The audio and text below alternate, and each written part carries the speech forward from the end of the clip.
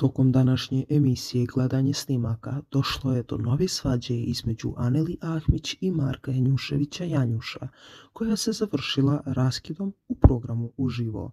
Iako oni nemaju ideju da večeras gostuje Asmin Durčić na Pinku, publici je jako zanimljivo da je njihov odnos baš nekoliko sati pred njegov dolazak doživeo krah. Isto je sve od početka našeg odnosa. Ne znam više da li je dosada ili šta je. Nema nekih sumnji, ali tu noć je bila žurka i ja sam rekao da meni ta žurka ne prija. Najradije bih taj dan prespavao, ali ne mogu ni da zaspim. Ona ne može da ukapira da je to moja situacija. Preseče me mnogo puta dnevno, uništi me, ne mogu da funkcionišem kako sam ranije. Često me prebacuje u neki svijet. Ja sam sedeo, zamišljen i ona dolazi i kao što sam mrzovoljan. Prije toga sam je rekao da sam razmišljao o nekim stvarima. Dosta stvari ima o kojima sam razmišljao, rekao je Janjuš. Ja sam navikla kroz život da se smejem, volim zezanciju, njemu to smeta, rekla je Aneli. Ona meni razvali mozak sa nekim njenim izjavama. Ona ne može da ukapira da ja imam neke svoje faze, nije to smiješno sve, tebi je smiješno.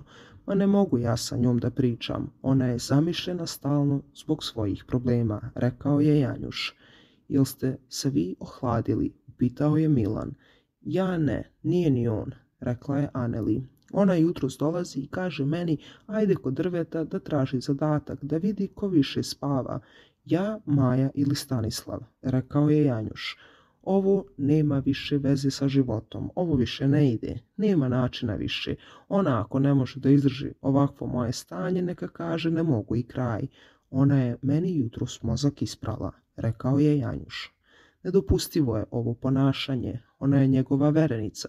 Mjesec dana nisu bili u vezi, pale su teške reči, oni nisu rešili stvari, odmah su naglo upali Anelina porodica je rekla šta je imala. Evo, znači, završavaju, rekao je Uroš.